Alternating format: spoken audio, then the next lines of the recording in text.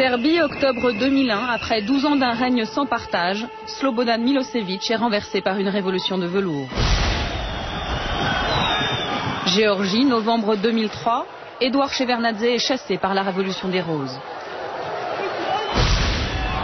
Ukraine, décembre 2004, la révolution orange porte au pouvoir Viktor Yushchenko. Kyrgyzstan, mars 2005, c'est la révolution des tulipes qui triomphe. Quatre révolutions non violentes, quatre régimes autoritaires reliques de la toute-puissance soviétique, jetés aux oubliettes de l'histoire en quelques semaines. Et à chaque fois le même scénario, des élections truquées, un pouvoir qui se crispe, puis cède devant des manifestations qui emportent tout sur leur passage. Depuis cinq ans, rien n'arrête ce vent de liberté qui balaye un à un les anciens satellites de Moscou. Une aubaine pour George Bush. We have lit a fire as well. A fire in the minds of men. It warms those who feel its power. It burns those who fight its progress. And one day, this untamed fire of freedom will reach the darkest corners of our world.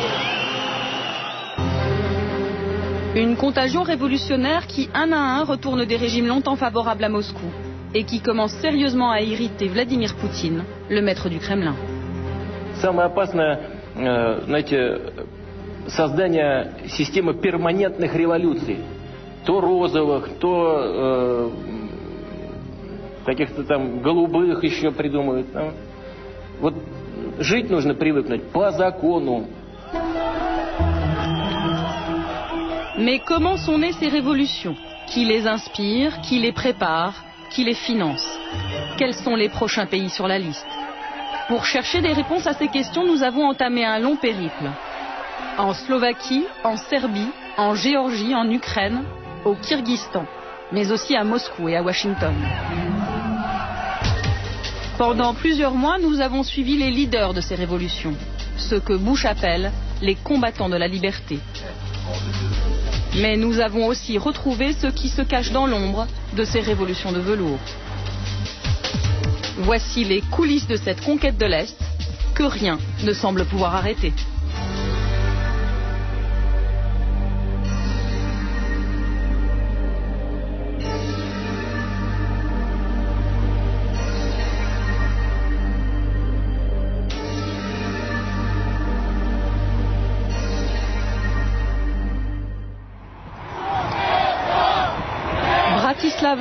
Février 2005. Nous sommes à quelques heures du sommet Bush-Poutine. C'est le premier face-à-face entre les deux hommes depuis que la révolution orange a fait basculer l'Ukraine dans le camp américain. Officiellement, c'est le sommet de la réconciliation entre Moscou et Washington. Mais dans un salon discret de l'hôtel Marriott, c'est une toute autre partition qui se joue. Ce soir, la délégation américaine donne un cocktail très privé. Conseillers politiques, hommes d'affaires, lobbyistes, dans ce salon, que des proches de George Bush, triés sur le volet. Et dans un coin de la salle, les stars de la soirée. Tous les leaders des révolutions de couleur qui ont balayé à l'Est les régimes favorables à Moscou. C'est George Bush qui les a invités personnellement pour les remercier. Je voulais vous remercier d'être tous venus ici. Ce qui nous rassemble, c'est notre cause commune, la liberté. C'est important que nous puissions nous parler entre Serbes, Ukrainiens et Géorgiens, et aussi avec nos amis biélorusses. Autour de la table, trois vétérans de cette nouvelle internationale révolutionnaire. Ivan Marovic, 33 ans, leader du mouvement étudiant serbe Otpor, qui a fait tomber Milosevic. Giga Bokeria, 34 ans, leader du mouvement étudiant géorgien Khmara, qui a renversé Edouard Shevardnadze. Vladislav Kaskiv, 32 ans, ukrainien, leader de la révolution orange. Autour de la table, on fait des projets. Tu sais, on m'a demandé d'aller voir ce qu'on peut faire à Cuba. T'as besoin d'un visa pour aller à Cuba, toi? Eh bien, pas nous. Pas nous.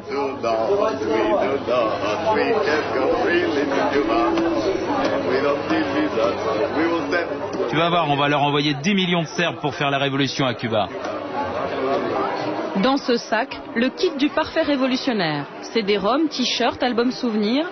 Vlad, le leader de la révolution orange, en profite pour faire des relations publiques. Venez, j'ai repéré quelqu'un d'important là-bas. Tout le monde veut ramener un souvenir de la révolution et saluer les héros. Particulièrement Paige Reef, un conseiller de la Maison Blanche pour les pays de l'Est.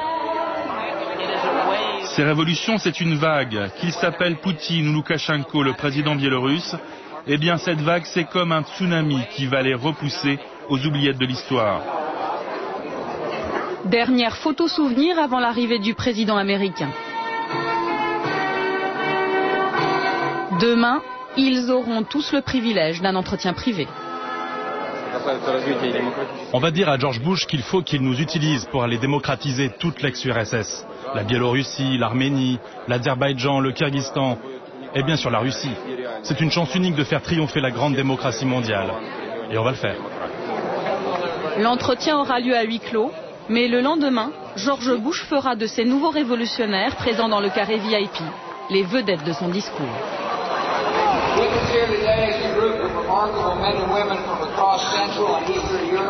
We welcome you. We thank you for your example, for your courage, and for your sacrifice. And the democratic revolutions that swept this region over 15 years ago are now reaching Georgia and Ukraine. Eventually, the call of liberty comes to every mind and every soul. And one day, freedom's promise will reach every people and every nation. May God bless you all. Un appel ouvert à la révolution, lancé une heure à peine avant l'arrivée de Vladimir Poutine, et qui va jeter un coup de froid sur le sommet de la réconciliation.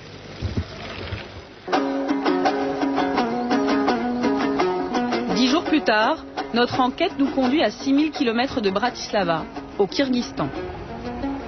Il semble que dans cette ancienne république soviétique d'Asie centrale, on ait entendu l'appel de George Bush.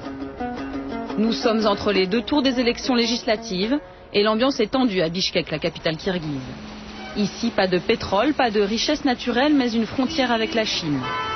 Alors, cette petite république est un lieu hautement stratégique pour Moscou et Washington. Les Russes y disposent d'une base militaire. Les Américains aussi ont la leur, dix fois plus grande. Elle leur sert de base arrière pour leur opération contre les talibans en Afghanistan. Alors dans les deux camps, on surveille de très près ces élections. Entre les deux tours, le pouvoir a interdit toute manifestation et l'opposition craint des fraudes massives. Alors, comme en Serbie, en Géorgie et en Ukraine, les étudiants se préparent à descendre dans la rue. Une poignée d'entre eux nous a donné rendez-vous en pleine nuit dans un faubourg de la ville. La réunion est clandestine. Autour de cette table, une vingtaine d'étudiants opposant au régime. Ce soir, ils visionnent un film. Bringing Down a Dictator. Comment faire tomber un dictateur? Un film culte qui raconte l'histoire du mouvement serbe et qui a inspiré toutes les révolutions qui ont suivi. Un film produit par un Américain. Là, c'est les jeunes Serbes du mouvement étudiant d'Otpor qui montent à Belgrade faire la révolution. Regardez, il y a des centaines de personnes qui les acclament sur les routes, c'est incroyable.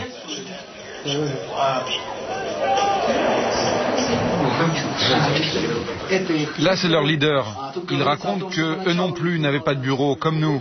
Eux aussi étaient obligés de se rassembler clandestinement dans les cafés et de communiquer par Internet.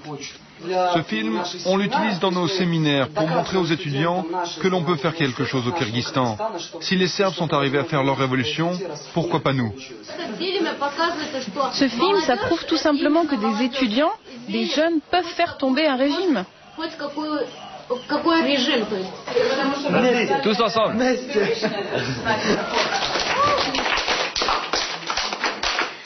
Serbie, Géorgie, Ukraine, Kyrgyzstan, voilà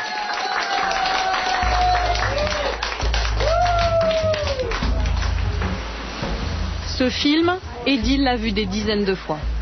Comme beaucoup de combattants de la liberté, il a étudié aux États-Unis grâce à une bourse offerte par le gouvernement américain. Juste retour des choses, aujourd'hui il travaille pour NDI, l'Institut national démocrate, une fondation dirigée par Madeleine Albright.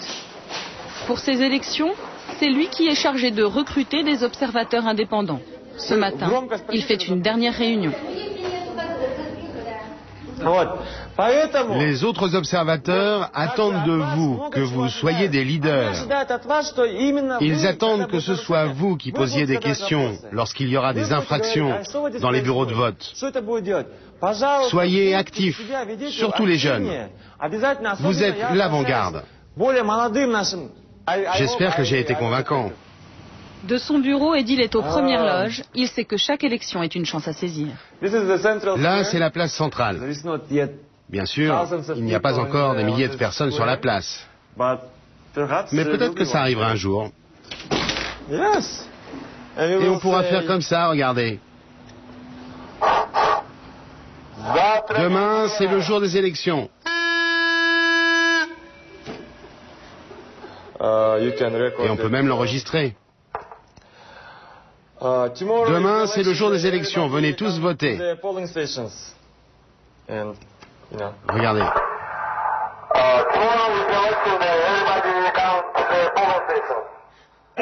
Regardez, j'ai même l'écharpe orange qui vient d'Ukraine. J'ai passé un mois et demi en Ukraine.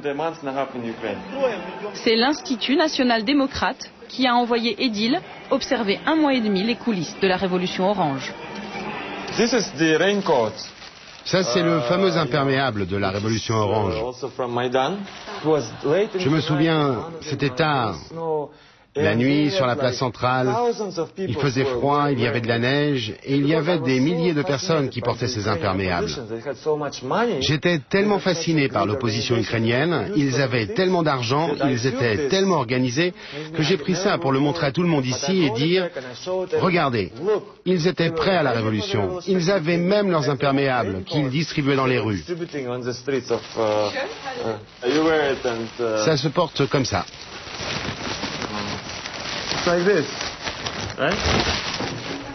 Cette logistique, ces moyens financiers illimités sont bien sûr essentiellement américains.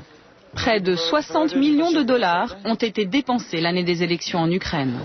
Au Kyrgyzstan, les dollars pleuvent aussi. 50 millions pour la location de la base militaire et 50 millions pour aider les associations favorables à la démocratie. Celle des deals touche 110 000 dollars pour surveiller le bon déroulement des élections. Alors forcément, à la une du journal que publie l'association, on sait être reconnaissant. Là, c'est le discours de Bush le jour de son investiture. Vous savez, ici, on est partagé sur George Bush. C'est pas mon président préféré.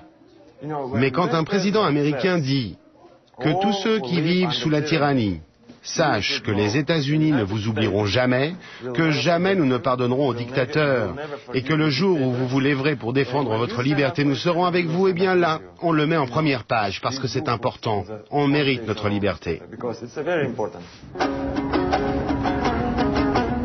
Nous avons voulu voir à quoi ressemblaient ces Américains qui exportent la démocratie dans les coins les plus improbables de la planète.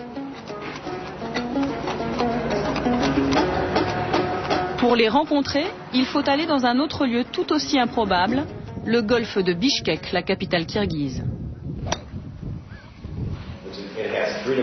Autour de cette table, les représentants des principales organisations américaines présentes sur place.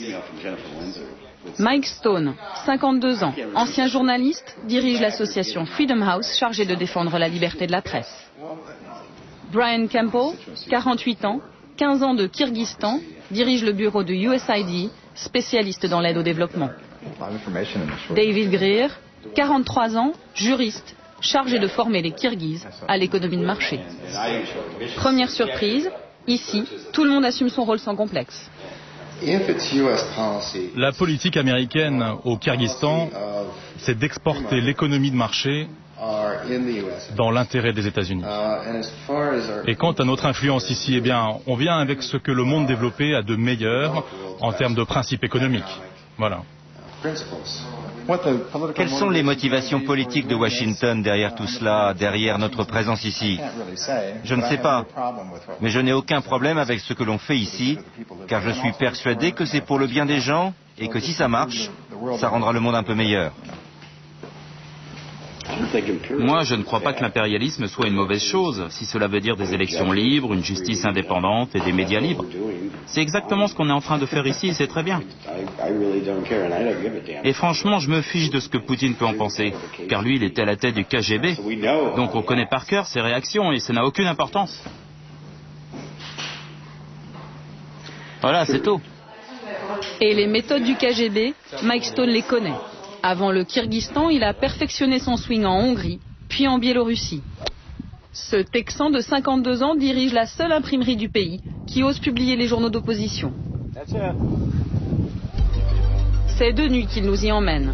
Il préfère être distrait. À quelques jours du scrutin, la pression du KGB local est à son maximum. Alors, Ruslan, c'est où? Ils sont par là-bas. Il est 3 heures du matin. Les ouvriers de l'imprimerie ont repéré une voiture stationnée tout près. Ce soir, la police secrète est de sortie, mais pas tout à fait sur le coup. Alors, Mike, il n'y a personne? Si, ils dorment dans la voiture. C'est pas vraiment du bon espionnage. Ah non, ça c'est clair. Je vais rester ici jusqu'à ce que chaque exemplaire sorte de mon imprimerie.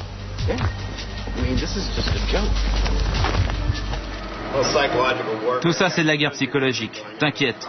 Si ça continue, je vais leur mettre de la musique country à fond. Tu sais, du Hank Williams. Jusqu'à ce qu'il craque et qu'il décarpisse. Je suis sérieux, c'est comme ça qu'on a fait au Panama. On passait du rock devant le palais présidentiel jusqu'à ce que Noriega se rende. Vous vous souvenez? C'est ici que Mike et son association Freedom House impriment les six journaux d'opposition du pays. Avant son arrivée, il dépendait entièrement du bon vouloir du pouvoir. Dans l'imprimerie, le ton est tout de suite donné. Sur les murs, un message d'encouragement du peuple américain au peuple kirghize. Et sur les rotatives, un petit rappel du nom du généreux donateur, le département d'État américain chargé de la démocratie, du travail et des droits de l'homme. Tout un programme. Mais depuis dix jours, le gouvernement kirghize a privé l'imprimerie de courant à cause de cette une. Ça, c'est la fameuse une. On peut lire la maison que le président Akayev s'est fait construire.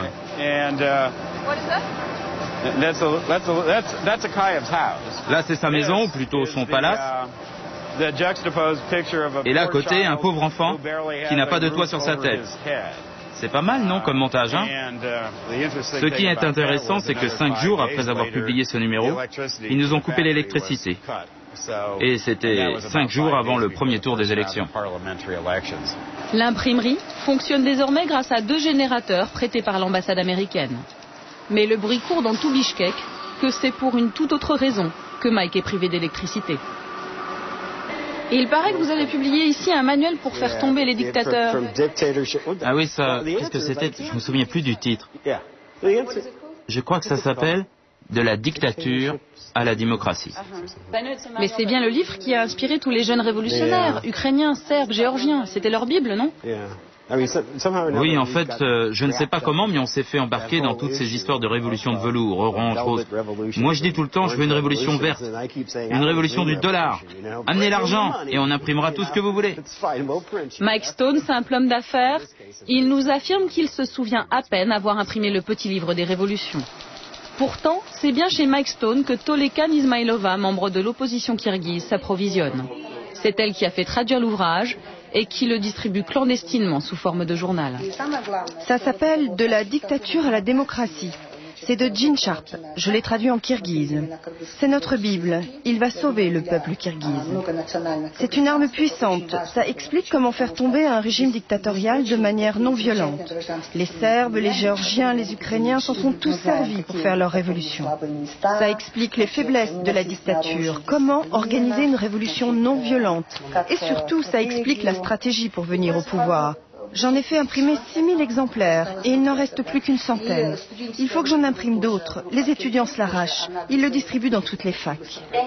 Ils aiment tellement ça dans mon village qu'ils attendent la suite. Ils ont tous envie de changer le pouvoir. J'ai envoyé des milliers de copies dans tout le pays. Dans le nord, on a des militants qui distribuent. Dans le sud, c'est déjà très populaire. Ça commence à marcher. Les révoltes ont déjà commencé là-bas. Retour à l'imprimerie. Mike Stone prépare la une du lendemain.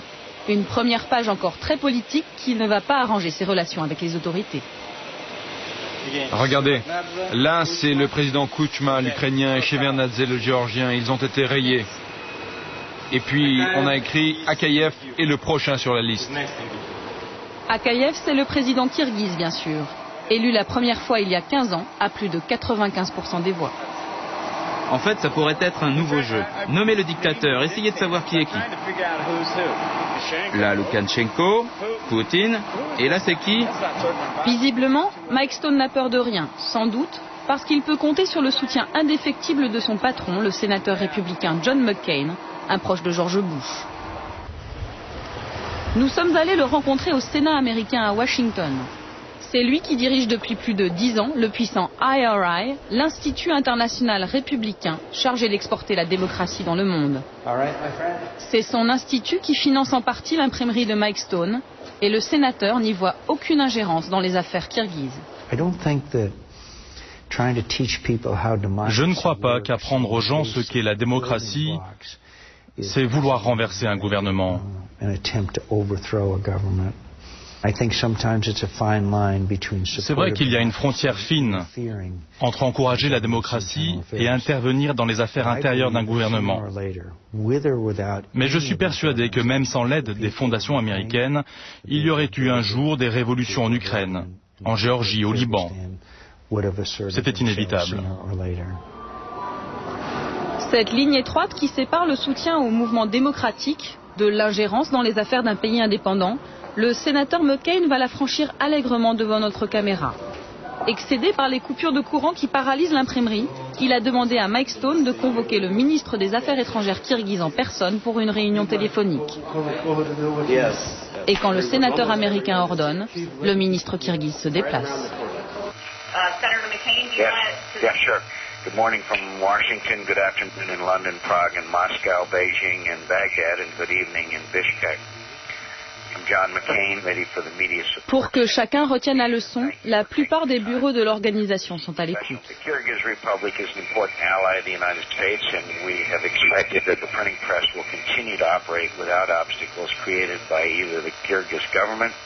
or any state-controlled agencies. I'm outraged by the forced shutdown of the only independent printing press in Kyrgyzstan This sort of information control is reminiscent of the old Soviet days and simply has no place in a free society. Pendant plus d'une heure, le ministre kirghize va encaisser. Il n'a pas les moyens de se défendre. Son pays surendetté est économiquement dépendant des États-Unis. À la fin du sermon, il est même contraint de s'excuser. Mr. McCain, do you hear me? Господин McCain, вы меня слышите? Да, я вас слышу. We are very sorry. Such incidents which we are sorry about should not put shadow on the image of our government, on its many times expressed commitment to support of independent mass media. Thank you. Thank you. Unless, uh, si une société n'est pas assez mûre pour la démocratie, il est contre-productif d'essayer d'imposer cette démocratie.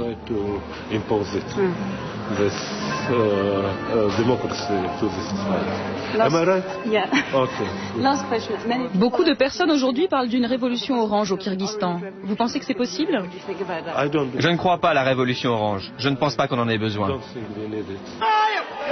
Mauvaise analyse politique. Dix jours plus tard, la révolution éclate avec bien sûr les étudiants au premier rang des manifestants. Les slogans, les symboles, les fleurs offertes aux forces de l'ordre, le choix d'une couleur, tout est conforme aux méthodes mises au point avant en Serbie, en Géorgie et en Ukraine.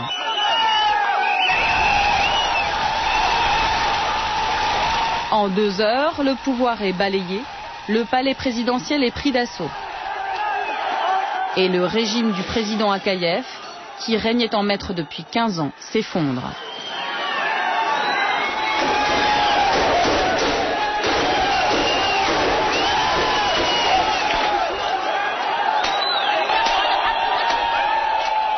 Dans la tourmente, nous avons perdu Edil qui, dix jours plus tôt, rêvait devant notre caméra de voir la place centrale de Bishkek noire de monde. En quelques heures, son rêve est devenu réalité. Mais Edil n'a pas pu profiter de la victoire, il a été l'un des tout premiers à être arrêté. On le voit sur ces images de la télévision kirghize se faire embarquer par les forces de l'ordre. Quelques jours plus tard, nous le retrouvons. Il nous a donné rendez-vous devant le palais présidentiel, fermé pour cause de révolution. Pour lui, aucun regret, la fin justifie bien les moyens. On dira encore, comme pour la révolution ukrainienne, comme pour la révolution géorgienne, que tout ça c'est un projet américain. Eh bien, même si ça l'est, ça m'est égal. Je ne vais pas m'excuser. Et personne ne devrait s'excuser. On vit au XXIe siècle. Les dictateurs doivent savoir que l'horreur a sonné. Les États-Unis font tomber des dictatures et alors, c'est pas de l'ingérence. On vit à l'heure des droits de l'homme, de la démocratie. C'est comme ça. Pour Mike Stone, l'imprimeur golfeur, aucun regret non plus. Alors Mike, vous êtes satisfait aujourd'hui? Ah oui, je suis heureux. Car le régime d'Akayev faisait tout pour nous faire perdre notre business. Et maintenant, on va enfin pouvoir travailler normalement. En fait, ce qu'on ressent, nous tous ici à l'imprimerie, c'est sans doute un, un, sentiment de mission accomplie. Nous laissons Bishkek à sa révolution et Mike à ses affaires. Direction Boston. Nous voulons rencontrer l'auteur du petit livre que tous les révolutionnaires s'arrachent. Il travaille ici à la fondation Einstein qu'il a créée en 1983. C'est un universitaire qui théorise depuis 40 ans sur la révolution non violente. Il s'appelle Gene Sharp. Il a écrit son livre il y a 15 ans. Depuis que les révolutionnaires serbes en ont fait leur Bible, les traductions se multiplient. Je n'en reviens pas. Il a déjà été traduit en 21 langues et il n'en finit plus de se répandre. Son livre De la dictature à la démocratie est un véritable mode d'emploi de la révolution pacifique, avec des recettes simples comme comment fraterniser avec la police, pilier de toutes les dictatures. Par exemple, en Serbie, l'opposition a appliqué à la lettre nos conseils. Et ils ont procédé par étapes pour neutraliser l'armée et la police, pour que le jour de la révolution, la répression soit moins brutale. Deux ans avant la chute de Milosevic, des garçons et des filles de 14 ans envoyaient des colis avec de la nourriture aux policiers pour affaiblir leur morale et leur soumission à Milosevic. Plus tard, les leaders de la révolution ont contacté des officiers supérieurs du régime pour négocier, pour que le jour J, les cordons de police se brisent et laissent passer les manifestants. Et c'est ce qui s'est passé.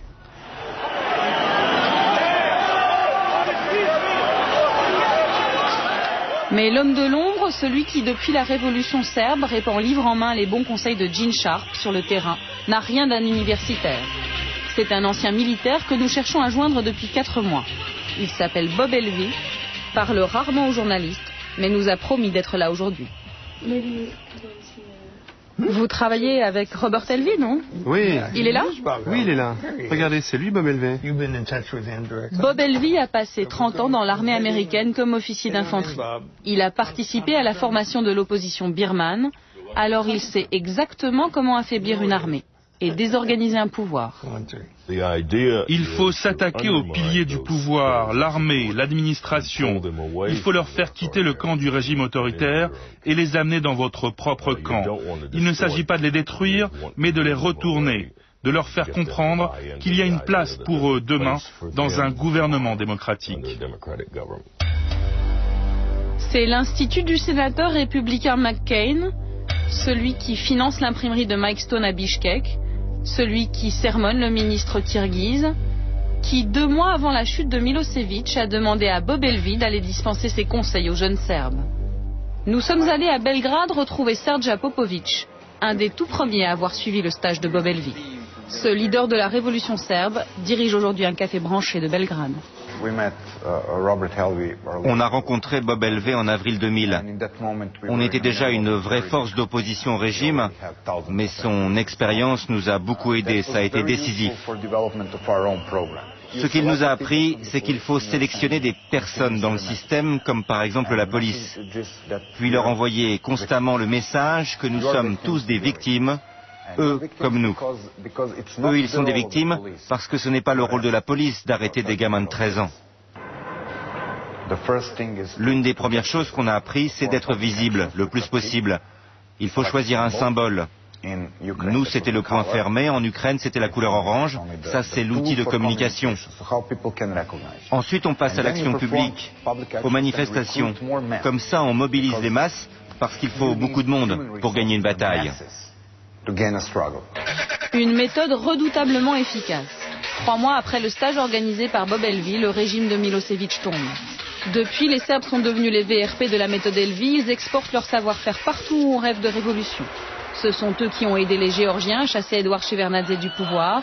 Ce sont eux qui ont aidé à préparer la révolution orange. La méthode est toujours la même. Deux mois avant les élections, des stages discrets sont organisés pour former des leaders étudiants. Nous sommes allés en Ukraine où nous avons retrouvé des images d'un de ces stages. Nous sommes deux mois avant la révolution orange. Les élèves sont ukrainiens et rêvent de révolution. Les professeurs sont serbes et ont déjà mené à bien la leur.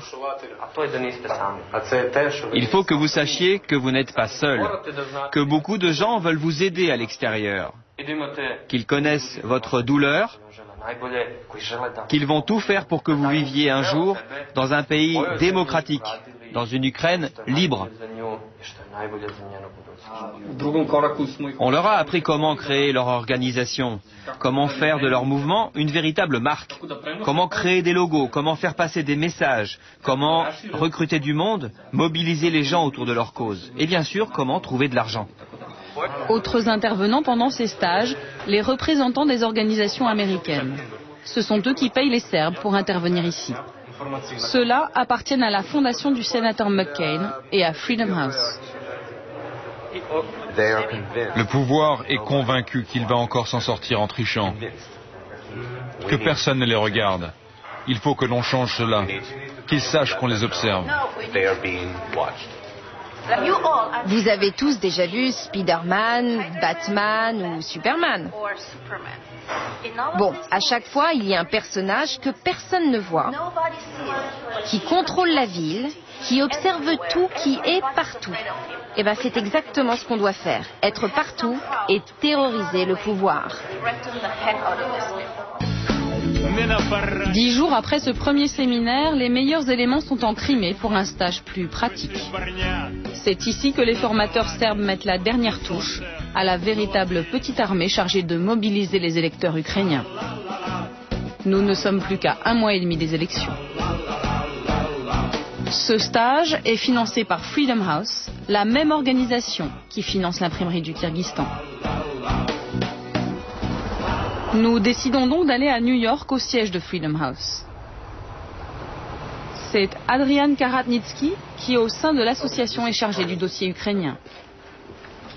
En passant dans le couloir avant d'arriver dans son bureau, il en profite pour nous donner un petit cours de démocratie. Les pays libres sont en vert. L'Ukraine et la Géorgie sont encore en jaune c'est-à-dire semi-libre. Car cette carte date de l'année passée, juste avant la révolution orange. Et puis ils n'ont pas encore consolidé leurs institutions. Et en bleu, ce sont les pays cibles, les pays qui ne sont pas libres.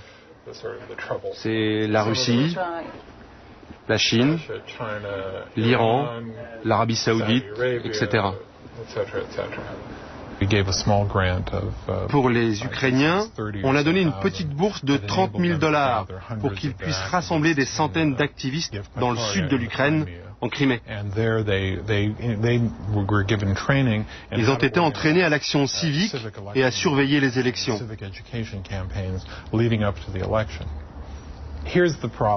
En fait, dans les années 50, 60 et 70, ce genre d'activité était menée par la CIA de manière cachée. Cela donnait l'impression que les services de renseignement américains noyautaient les organisations et les partis politiques des pays. Ça faisait passer les mouvements locaux pour des instruments de la CIA. Il a donc été décidé que les États-Unis feraient désormais ce genre d'activité de manière transparente et publique. Et c'est ce qu'on fait avec nos fondations. Et la méthode est efficace. Nous sommes allés le vérifier en Géorgie, une Géorgie qui depuis la révolution des roses en 2003 a basculé dans le camp américain. Cet après-midi, Tbilissi, la capitale, attend la visite du président Bush. Les États-Unis déversent ici plus de 100 millions de dollars par an d'aides diverses et possèdent, comme au Kyrgyzstan, une base militaire stratégique.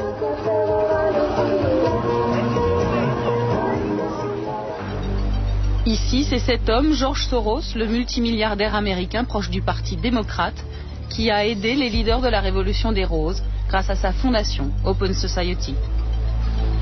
Kachal Omaya était à l'époque le représentant géorgien de la fondation de George Soros. Depuis, il est devenu ministre de l'Éducation nationale. On a joué un rôle important pendant les élections. L'un de nos programmes, par exemple, c'était d'inciter les gens à aller voter. On a financé toute une série de concerts de rock, distribué des tracts, diffusé de la publicité à la télévision, etc., etc. Tout cela nous a coûté à peu près 300 000 dollars.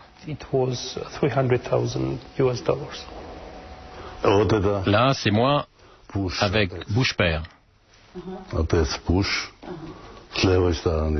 L'ancien président de Géorgie, Edouard Shevardnadze, lui, n'est plus rien du tout. Chassé du pouvoir, il vit avec ses souvenirs et une certitude. Les jeunes politiciens qui ont pris le pouvoir ont été pour la plupart financés par George Soros, le célèbre milliardaire américain. Je ne sais pas pourquoi il a voulu renverser le gouvernement géorgien. Mais ça n'a pas été une révolution. C'était un coup d'État. C'est vrai, certains dictateurs d'Asie centrale et d'autres pays de l'ex-URSS ne comprennent pas ce que l'on fait. Mais je vous assure que les peuples de ces pays le comprennent parfaitement. L'un des leaders de la révolution géorgienne, c'est Giga Bokeria. Nous l'avions croisé à Bratislava. Nous le retrouvons au Parlement de Tbilissi. À 34 ans, il entre et il sort comme il veut de l'hémicycle. C'est normal. Depuis la révolution, il est devenu le principal conseiller du président géorgien. Mais ce matin, il n'assistera pas à la session parlementaire. À quelques heures de l'arrivée du président américain, il a rendez-vous dans un salon de l'hôtel Marriott avec Anatoly Lebedko, un opposant biélorusse qui est venu chercher des conseils pour faire la révolution chez lui. Car comme les Serbes, aujourd'hui les Géorgiens exportent leur expérience révolutionnaire, petit mode d'emploi en direct. Qui est vulnérable autour du président dans l'appareil d'État? Est-ce qu'il y a des personnes sur qui on peut influer, qui pourraient jouer notre jeu Oui, ça c'est fondamental. Des personnes au sein même du régime. Des proches du président Chez nous, tous ceux qui représentent une menace, eh bien notre président Loukachenko s'en occupe. Il les a soit mis en prison, soit fait assassiner, soit exilés. Il ne supporte pas qu'il y ait à ses côtés quelqu'un de plus intelligent que lui, qui puisse lui faire de l'ombre. Oui, on connaît bien ça, c'est un des points communs de tous les dictateurs. Nous aussi, on a connu ça chez nous. Et si on vous donne comme but de distribuer des milliers et des milliers de tracts à travers le pays, c'est possible?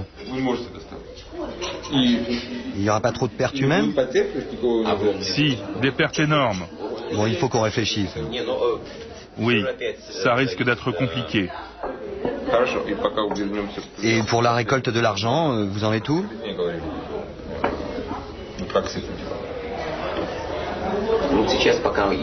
Pour l'instant, on a surtout un soutien politique et des promesses d'aide. Il y a une décision du Congrès des États-Unis qui doit nous donner plusieurs millions de dollars, mais on attend.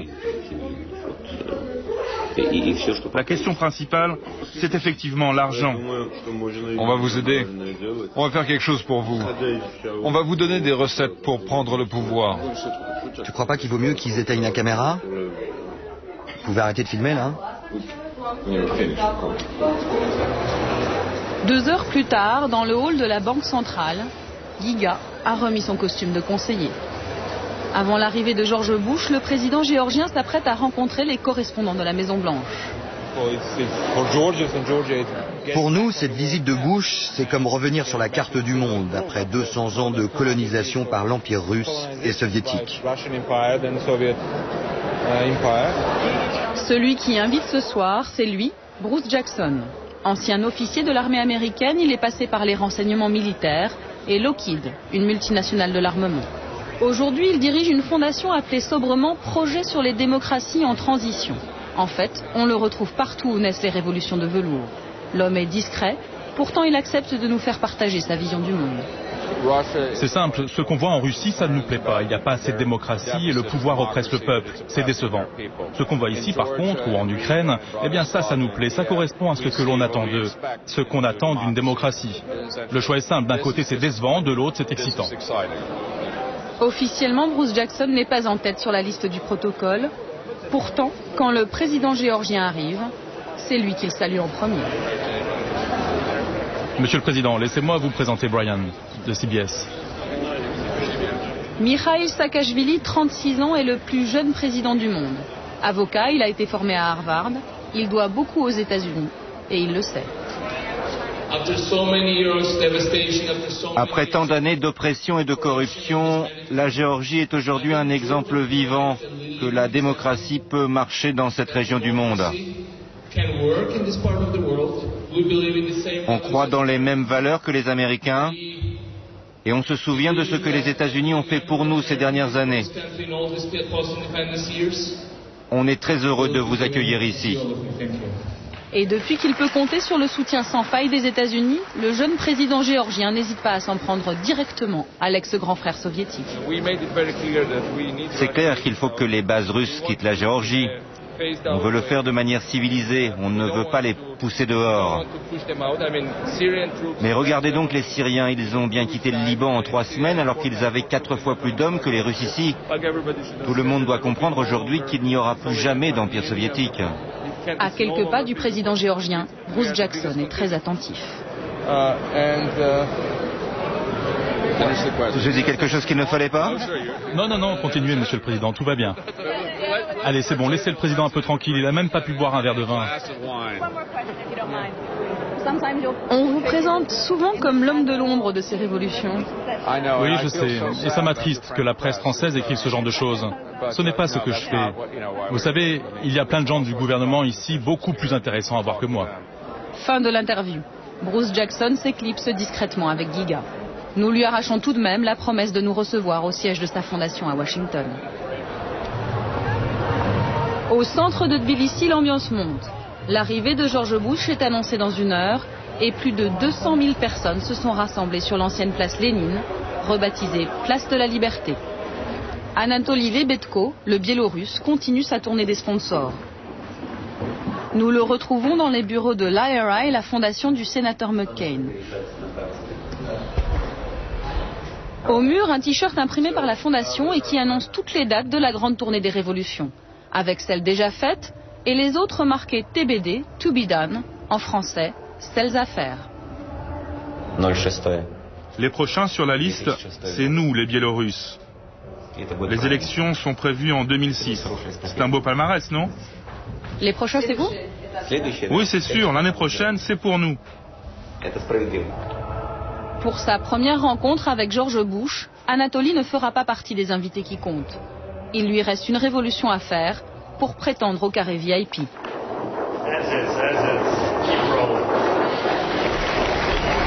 Il est 15 heures. George Bush prend la parole pour marteler le même message, toujours et encore. As nations.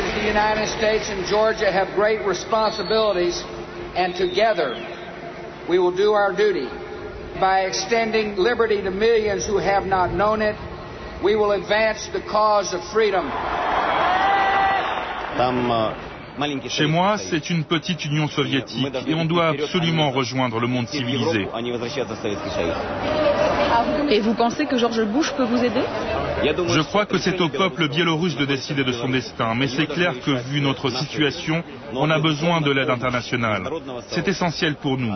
C'est une question de survie.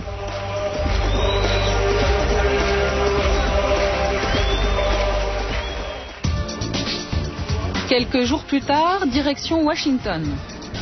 Après des mois d'attente, Bruce Jackson, le lobbyiste en chef de la Maison-Blanche, nous autorise enfin à venir au siège de sa fondation.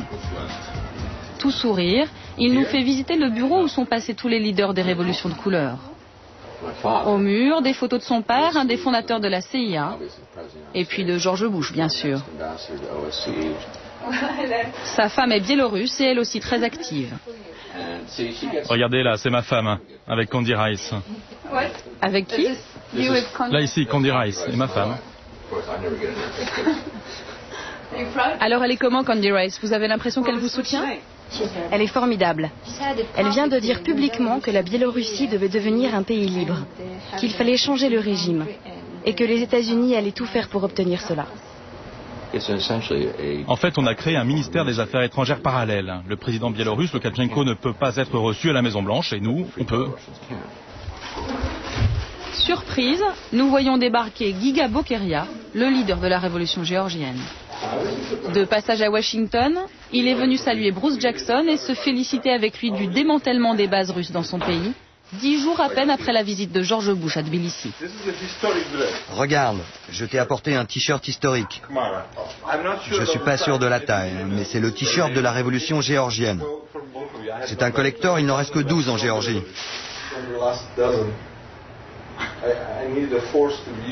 Le rendez-vous ici se passe très bien. Tu sais, ils sont très contents de toi ici. Tu fais du très bon travail. C'est bien.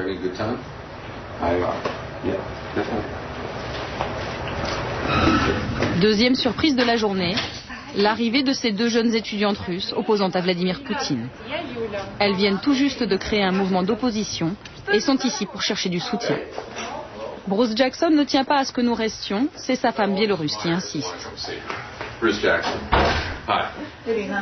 Les deux jeunes Russes sont surprises elles aussi. Elles ne s'attendaient pas à rencontrer le héros de la révolution géorgienne. Vous connaissez Giga Bokaria Giga, le roi de Géorgie, le héros de la révolution. Enchanté.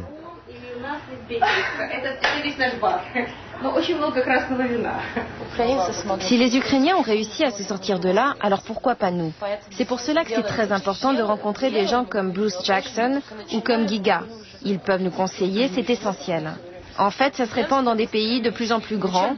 Ça a commencé dans la petite Serbie, puis la Géorgie, puis l'Ukraine, puis pourquoi pas l'immense Russie?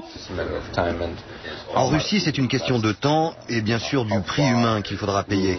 Jusqu'où le régime sera prêt à aller pour rester en place. Mais je suis certain que ça arrivera. Vous allez les conseiller Je n'appellerai pas ça du conseil. Je leur parle de mon expérience et de toutes ces recettes que vous connaissez. Après, ils verront bien ce qu'ils pourront faire concrètement chez eux, en Russie. La réunion durera plus d'une heure, mais hors caméra. Bruce Jackson nous a prévenus, faire la révolution en Russie, c'est-à-dire s'attaquer directement à Poutine, est un sujet trop sensible. C'est pourtant le prochain objectif. Trois jours plus tard, nous décidons d'aller à Moscou retrouver Yulia, l'une de nos étudiantes russes. Depuis que les révolutions s'enchaînent à l'Est, l'ambiance s'est durcie et la police traque le moindre mouvement de contestation. Yulia a installé les bureaux de son tout jeune mouvement ici, au rez-de-chaussée de cette maison du centre de Moscou. Je vais vous montrer la salle de réunion où tous les mouvements de jeunes contre Poutine se rassemblent. L'endroit ressemble à beaucoup de ceux que nous avons vus au cours de notre enquête. Les mêmes bureaux minuscules, les mêmes slogans au mur. Difficile d'imaginer que d'ici peut partir une révolution. Notre mouvement s'appelle Aborona. Ça veut dire défense. On est tout jeune, ça ne fait que deux mois qu'on a fait notre première manif. Voilà notre logo. C'est avec ce drapeau qu'on va au rassemblement. C'est le même que les Serbes, les Géorgiens. On l'a pris comme symbole de lutte commune. Nous, notre objectif principal, c'est lui, Poutine. On en a marre de lui, marre de ce régime policier qu'il a instauré en Russie.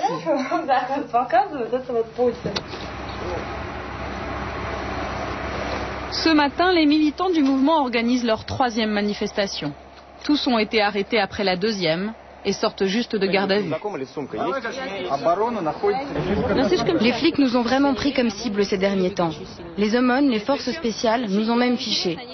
Ils ont nos noms et nos photos et nous montrent du doigt pour nous faire sortir des manifs et nous arrêter. Lena a 21 ans. Elle est étudiante en économie. Toutes ces révolutions de couleurs qui ont lieu dans les autres pays ont crispé le pouvoir en Russie. Le Kremlin parle de la peste orange. Il n'arrête pas de dire en Russie, il y a le risque de la peste orange. Ils ont vraiment peur. Ces fascistes du Kremlin sont terrorisés qu'il y ait une révolution orange ici.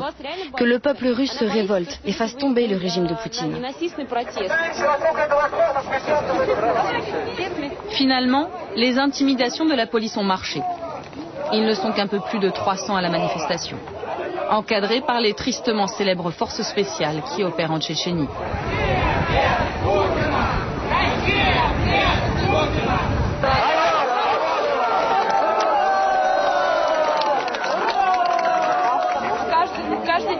Il n'y a pas beaucoup de monde, mais tous les jours, deux ou trois personnes veulent rejoindre le mouvement. En fait, on est bien plus nombreux qu'il n'y paraît. La réponse de Vladimir Poutine aux menaces de révolution, la voici. Ils s'appellent les Nashis, ce sont les jeunesses poutiniennes, un mouvement très encadré par le pouvoir russe et créé juste après la révolution orange. À chacune de leurs manifestations, ils sont des dizaines de milliers à faire front contre ce qu'ils appellent le virus révolutionnaire.